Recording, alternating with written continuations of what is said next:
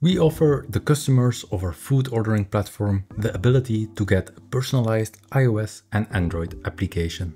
And to date, we manage over 100 of these applications. In this video, I'll be detailing how I'm able to create these apps and manage them without breaking a sweat.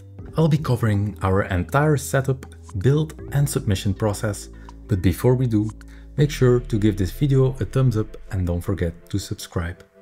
Let's get started. Our applications are created using Expo. We offer our merchants the ability to customize their app icon and color palette through a very basic form. And the data we capture gets put in a Trello list. This way, we're able to track the progress of every individual app along the way.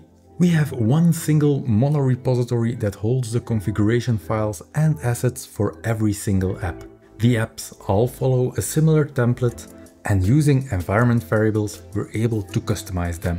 I created a starter kit on my GitHub that I'll link below to show you how you can configure multiple tenants in an Expo setup using environment variables. If you open the codebase and run yarn start, we'll be immediately presented with an error because the tenant environment variable is required. My starter kit has two tenants configured. We have our first tenant and we have our second tenant. If we want to start the application using the first tenant configuration, we can do so as follows. We can say tenant equals first tenant yarn iOS. And here we'll be presented with the application for our first tenant. If you want to see the configuration of the second tenant, we can set the environment variable to the second tenant and we can run yarn iOS again and now we can see our app has loaded the second tenant configuration. If we open app.config.js, we'll see we try to load a configuration file from the configs directory. And the configuration file we try to load is set in the tenant environment variable. Looking into the configuration file of our first tenant, we can see we set things like the slug, the bundle identifier, the package, the icon, the splash screen, etc. As you can see here, the assets live in the first tenant directory under assets first tenant and we have our icons and our splash screen. And the app definition object is something we can use inside our view to customize our template. These config files get filled in the main app.config.js configuration file together with other configuration values like version or orientation that are not tenant specific. Assets are organized in their respective tenant directories, and we have a global directory that, as you might have guessed, contains global assets like fonts.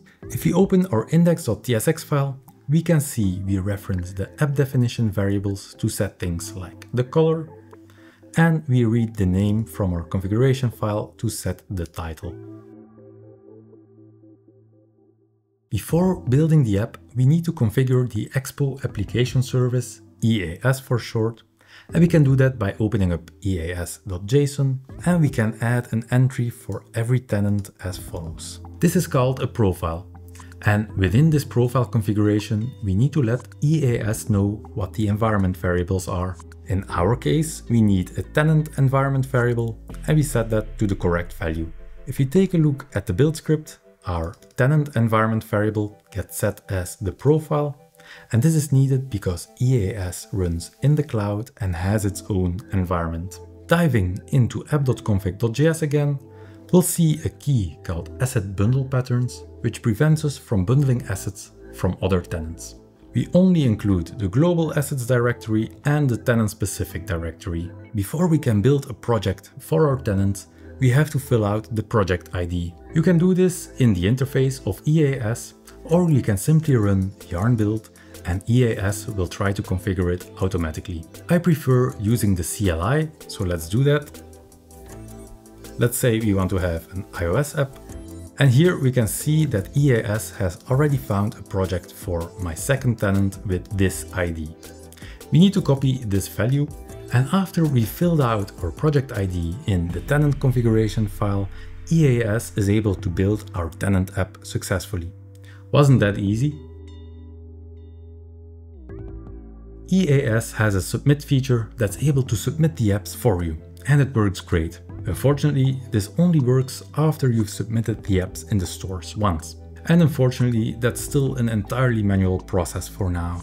After the first manual submission, we were able to automate updates using EAS Submit without issues. Over the years, we've basically automated the entire process of creating an app, besides the first submission. I created a CLI that's able to pull all the apps from Trello, it will download and resize all the assets, create the necessary configuration files using stubs, and it will register the app to Firebase for Android push notifications.